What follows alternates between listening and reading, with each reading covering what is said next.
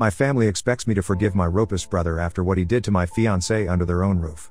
I, 27M, met my fiancée, 25F, almost seven years ago when we were both studying at collage. We met through mutual friends and about one year later we started dating. When she was introduced to my family, everyone was delighted with her, even my mother, who tends to be somewhat reserved with foreigners. Edit My mother and father are migrants, and since they arrived in the country where we live, they have always stayed close to the local community, so they are generally very reserved with anyone who is not from our community. Sounds racist, but not it is.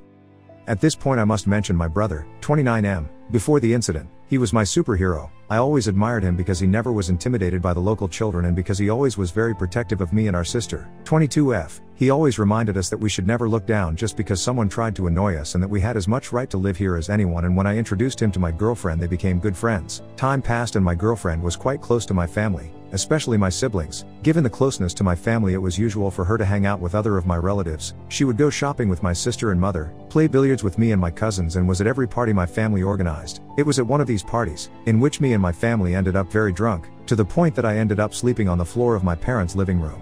When the party ended, my girlfriend was behaving very weird, and when I asked her what was going on, she told me, I think your brother tried to kiss me. The surprise that she gave me when hearing those words was so great that any effect of the alcohol disappeared and I asked her to tell me everything that had happened.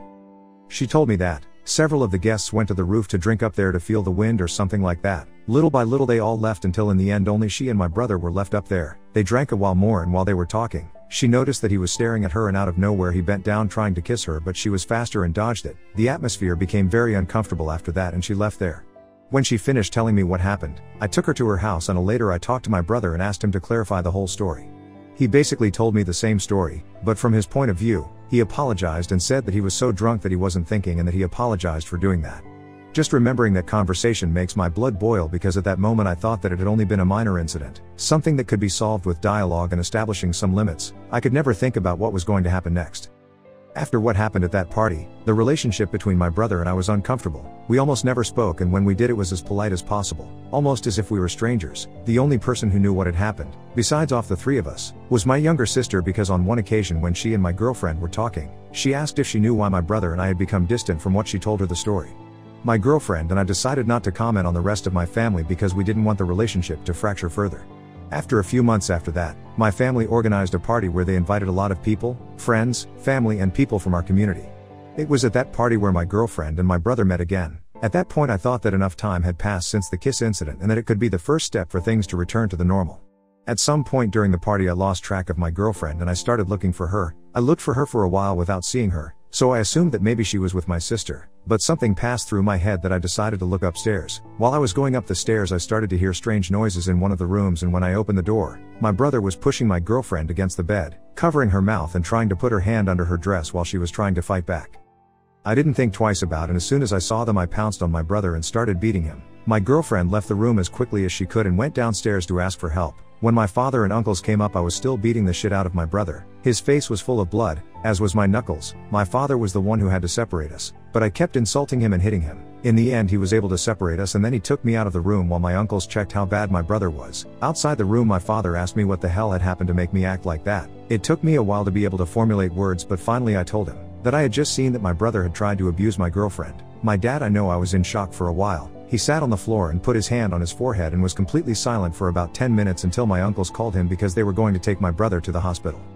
After they took my brother, I went to look for my girlfriend and found her talking to my sister about what just had happened. I said goodbye to my sister and we left. All the way to our house, she couldn't stop crying. She was confused, angry, and by the time we got home, she kept crying until she fell asleep, and that was her routine for a couple of days until little by little she could talk again. In those days, my family kept me informed of my condition brother. I had broken his nose and dislocated his jaw. My mother was the one in denial, incredulous that her son was capable of something like that, but I didn't think much about it because in the end each person reacts different and also to a certain point I understood why my mom was trying to explain my brother's actions. The last thing I heard from him was that after he left the hospital everyone turned their backs on him for what he did. They fired him from his work and left town. The following weeks I cut off almost any contact with the outside world and focused on helping my girlfriend. To say the least she was handling the situation as best she could. She was still very scared about what had happened and had no energy at all, but after almost a month of being home, she had to go to work, but she returned after a few hours because she told me that she couldn't stop feeling threatened, that she was in danger and that at any moment someone was going to try to do something bad to her. When she calmed down, I suggested that the best thing to do would be to seek professional help, and although the idea did not seem the best to her at first, she ended up accepting it, and it really was the best for both of us. Right after the therapy began, she began to improve, and after almost two months in therapy, her therapist suggested that perhaps I should start taking some sessions too, not only so that I could fully understand her therapist's situation and help her properly, but also because she told her therapist that since the incident I had almost none any contact with someone other than her and that I had never really spoken about how I felt. At first it sounded strange, but I was not going to question the recommendation of her therapist, even though she told me that. I was only going BQs I thought I would be able to let out the little things I had accumulated. I can remember that in the first session it ended up in a mess. I felt so angry not only with my brother, but also with myself. I was repressing what I felt because I didn't stop blaming myself for not have noticed my brother's behavior and above all I felt powerless because I couldn't protect her like I always said I would and that he was afraid that something like that could happen to him again and I couldn't help it.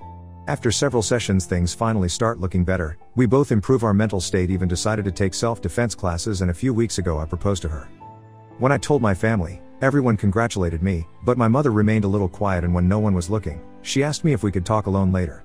When we were alone, she told me that she was very happy for me and for her, but that she needed to tell me something. That's when she told me that she had been in contact with my brother since the pandemic began. She told me that my brother looked for her to find out if she and my father were okay, that if he could help them in any way, and that he felt sorry for what he had done. My mother kept telling me things about him until she told me something that almost made me makes me yell at her. She told me, I think it's time for you to forgive your brother. Before she could continue talking, I left the room, took my keys, and went home. When I arrived, I told my fiance what my mother told me, and she was as upset as I was by my mother's words, and I couldn't believe she said that. The following days, along with congratulations on my engagement, I also received questions about my brother and that, if we had spoken again, if we're already reconnect and things like that. I tried to ignore these situations as much as possible until four days ago my mother called me saying that she had told my brother about my engagement and that he was coming to town next week because he wanted to talk to me. I argued with my mom because she had no right to tell him something like that. I hung up on her and have had no contact with her since. After that some relatives have told me that maybe my mother is right and that I should give my brother a second chance. I reached my limit yesterday afternoon when my father called me to tell me that I had to be a good brother and at least try. Even my father asks me to forgive my brother for what he did. Suddenly everyone forgot what he did. That four years is enough to forget about what he did and I honestly can't understand how they can think like that. I honestly don't know what to think about my family right now, just that I'm upset with them and I definitely don't want to see my brother again. I wrote here because I needed to vent and my therapist appointment was postponed and I needed to vent. Maybe Reddit it's not the most professional choice, but I needed to get my feelings out somehow and I appreciate whoever is reading this. Notable comment which sums this up. So your mother is protecting and expecting you to forgive a rapist slash sexual predator? Maybe her sounds racist but isn't attitude means she thinks less of your partner? What would her reaction be if someone attempted to rope your sister? I'm guessing she wouldn't be all forgive and forget. Act accordingly, your family are willing to sacrifice you, your partner and your relationship just to play happy families with a rapist. And she's a woman. How dare she? Honestly op, you might as well go NC now because just the fact they've expressed this desire of reconciliation is the nail in the happy family coffin. Your fiance now knows they don't stand by her or you and that what nearly happened under their own roof is now NBD. They are asking her to smile, come to BBQs, open Christmas gifts, and laugh at a dinner table across from your brother who sexually assaulted her twice, and be totally cool with it. Let's face it, your mother hasn't believed your fiance from the beginning. She believes, probably, that it's a misunderstanding and being drunk you probably thought you saw something different. That yes, they were in a room alone and that was wrong of him to do, but you overreacted because they were drinking and things got out of hand, or something else ridiculous. Your mother straight up disgusts me, as a fellow woman, as a fellow mom of boys, as a fellow member of society. It's over with them. They chose. And it wasn't your side that they picked. Leave town and start over. If he comes back, she may never feel safe to even leave your front porch on a daily basis. Update My family wants me to forgive my brother after he tried to R0P my fiance. Hi everyone. Well, I really never expect to update, or at least not so soon. The moment I posted, I was doing it because I really need to vent my feelings somewhere, but I never expect to be treated so kindly by all of you. Thank you. I especially want to thank everyone who sends their blessings and good desires to my fiance. Also, I want to give some answers to the general questions some of you had. I don't know if in my previous post I let you understand that I was thinking to forgive my brother, which I am never going to do. So, for clarification, I no longer have a brother. That man died for me four years ago. Second of all, not every member of my family is thinking to forgive my brother in any way possible. It is the minority of my family that thinks this. I could easily go NC with all of those except for my parents and also clarifying that my sister is in my side. She is the best friend of my fiance and the only one besides me that knows how much she suffered the first month after the incident. Third, for some of you that asked for what I told my mom and dad, I generally told them that if I knew that my brother was in town, I would never speak to them again. What had been doing my brother this last years? Well, when my mom told he contacted her at the beginning of the pandemic, he basically moved to the other side of our country, change his name and start taking therapy so one day he could reform. Bullshit, I didn't hear much more and neither my sister has asked my parents about him, so that's all we know. Someone also DM about why my brother wasn't in jail, while I responded to that person in private, I also want to tell everyone here. The main reason because I beat up my brother until the point he had to be taken to the hospital. When I consulted a lawyer friend of mine, she told me that if I pressed charges against my brother he could also drag me with him I was going to be in jail for some time and also that my then girlfriend needed to testify and she wasn't in the best moments for something like that, and also my priority in that moment was her I couldn't help her if I was in jail. The best we had at that time was a restriction order for her. Also one of the reasons I hadn't posted and updated sooner was because we both got a restriction order for my brother. I hadn't told my parents about this so if my brother showed up at any moment they were going to take him to the local police station. Also some of you mentioned that the attitude that my mom had in these situations is because, like I mentioned in my previous post, my girlfriend isn't from our community but that is not the reason I can assure you that. So now talking about everyone expected. Why did I respond to my family? Well, I already had prepared something to say to all of them that were thinking to forgive my brother and for my parents give them an ultimatum about to pick between their son a man who tried to R0P his brother fiance or me and their daughter. But I realized something else, while I was reading the comments of my previous post, to make my thoughts make me think about a horrible possibility that might happen. The comments were basically about how my brother was confident enough to try to R0P my fiance in a house full of people and that for the reaction of my parents these days that there was the possibility that my brother had done something like that before and even worse that my parents cover it. That question shook my world again, I never thought about that possibility.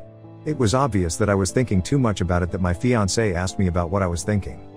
Edit. A few hours after I posted, I told her and asked her if she wanted me to delete the post, but after reading the first comments and the rest of them, that told me that she understood why I did and she really felt nice to all those people who sent nice messages and support for her. Thanks again.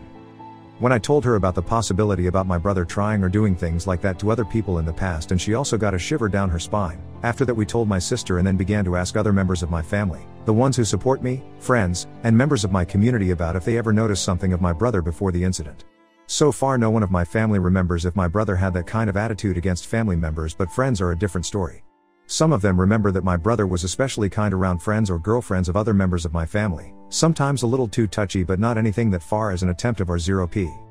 It was until my sister reached out to a sister of an ex girlfriend of my brother that she talked about that my brother was really strange around her family and that since my brother was dating her sister, she noticed she was extremely quiet around him, and she also mentioned that my brother acted too flirty with her. We also contacted an ex-coworker of my brother and she told us that one night after a company party she remembers that my brother took another coworker with him but from what she can remember she saw that her friend was really drunk at that time in the morning after she couldn't remember much of the last night. This whole situation had made me realize that my brother was never the person I thought he was. After hearing more stories I am now convinced that my brother is a menace for everyone around him. Since yesterday everyone involved had reunion all the possible evidence against my brother and when we are ready we are going to show everything to everyone in our community, in social media and to anyone we can. I also have to say that I haven't talked to any of these to my parents. Tomorrow morning I am going to drop the bomb along with an ultimatum and I am also going to tell them that if we found any probe that shows that anyone know about the things my brother had done, they are also going to pay the consequences. I am not going to be able to update for a while or at least not any big update about these until my brother is facing consequences. This is not how I imagine the weeks after my proposal, but this is something we can let slide up. My fiance has been there for me in every step, and I had done my best to be for her in all of these. I can't imagine how she feels now, but I am so proud of her, and that she doesn't fear to face her trauma if that allows her to help others. Again, thanks to all of you who showed their support. The op made one mistake, in the line that says a man who tried to R0P his brother fiance or me and their daughter, he meant their daughter. He was referring to his sister who is pregnant, and he corrected this mistake in a comment. Update 2 My family wants me to forgive my brother after he tried to R0P my fiance. Hi everyone again, I know it has been a while since I last updated but I wanted to post a complete update once the problem was solved. One more I want to thank everyone who sent their good wishes to me, my fiance and to any other possible victim of my brother now to the main theme. What has happened? While the aftermath is still ongoing I'm happy to tell everyone here that my brother is facing justice for his actions. So back when I last updated, my fiance, some friends and I started to look through my brother's history, searching if he ever abused or tried to abuse any other women. And once the evidence was ready make my brother face consequences at the end we ended with the cases of 8 different women, including my fiance, that were somehow molested by my brother, these including ex-girlfriends, ex-coworkers, and two actual coworkers of him. I also mentioned that once we were ready I was going to show my parents what kind of monster they were defining and also that we were going to show everyone the information through social media. But neither of those things happened like we had planned, mostly because our lawyer advised because if I showed my parents the information there was the possibility that my parents tried to cover my brother's back and prevent him of the things we had planned for him. I didn't think about that possibility, at first, mostly because part wanted to try to knock some common sense on my parents' minds but at that point I could trust them because there was the possibility they have covered up my brother's actions before. And that spreading the information through social media was something that my brother could use in his favor by claiming defamation and that basically would complicated things needlessly. So the confrontation with my parents would have to wait, also mentioning that during that time I went completely NC with them because I didn't want them to screw things over and because I couldn't trust them anymore. Here I have to mention my sister, she took one for the team and all this time she pretended with them to be in a neutral position while in reality she was helping me and my fiance. During that time my sister learned more things about the time my brother was gone. The main things she learned were these.